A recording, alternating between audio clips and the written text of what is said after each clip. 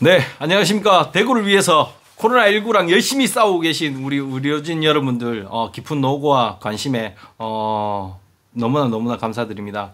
어, 지역 예술가로서, 음, 큰 도움은 못 되지만, 그래도, 어, 작게나마 위로가 될 수 있도록 연주라도 한 곡 올려드리면 좋을까 싶어서 이렇게, 어, 응원의 메시지 영상을 찍게 됐습니다. 어, 정말 조심하시고요. 그리고 감사드리고요. 어, 너무나 수고 많으십니다. 대단히 감사합니다.